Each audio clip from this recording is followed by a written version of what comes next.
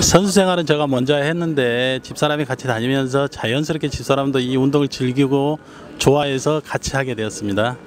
여수에서 장애인 국민체육센터 내 당구실이 있어서 지적장애인 아이들이 당구를 참 좋아해서 저희 부부가 당구 교실을 운영하게 되었습니다. 지적 장애인들에게 당구도 홍보도 할 겸 애들이 또 즐거워해서 저희 부부가 열심히 운영을 하고 있습니다. 당구 시합을 하다 보면 제가 질 때도 많이 있지만 또 나- 남편한테 가끔 한 번씩은 이길 때도 있는데 성적은 저하고 같이 하다 보면 남편이 더 잘 나오는 것 같아요. 일단 대회 출전하고 하면은 경기에 참여한 걸로 만족하고 서로 즐기면서 그냥 레크레이션처럼 즐기면서 다닙니다. 경기 결과에는 별로 신경 안 쓰지만 나온 이상 최선을 다해서 좋은 성적 거두고 싶습니다.